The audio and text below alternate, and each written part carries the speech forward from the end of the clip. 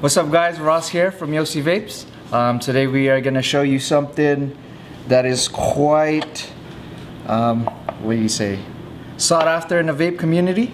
Um, today we have the Hammer. It's a mechanical mod made by uh, UVO Systems. It's made of uh, stainless steel, uh, custom engraving all around. It's supposed to look like the end of a pipe. It uses a three, uh, 350 battery if you do have an Astro made by Kato, you could actually extend this to fit a uh, bigger size battery like a 500. Uh, I don't believe you could use a 650 on it. Engraving up front where your uh, connection will be, copper connection, um, switches up here, nice and soft.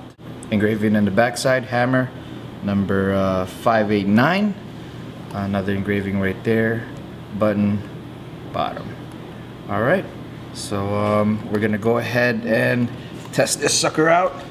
I'm gonna grab a 350 battery and we're gonna put the Kayfun 3.1 with Madrina Suicide Bunny. We have this in stock.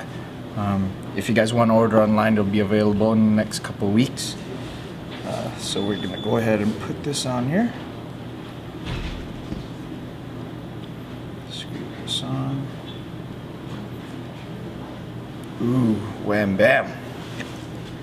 Put the battery in. Oh, negative side up. Alright, so now we're gonna put it on there. Switch. Alright, test fire. Fire's good.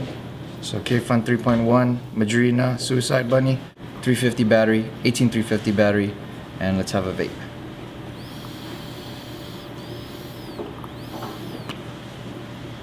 As you can see, uh, vapor is really nice.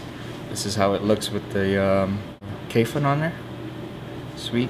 It's a very hefty little mechanical. You can sit it upright like that. Do it like that.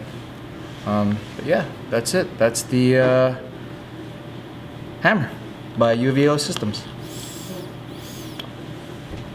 Alright guys, so if you like this um, video, um, go ahead and like, comment, subscribe, up or down. Uh, and till next time, this is Ross from Yosi Vapes. Have a good day.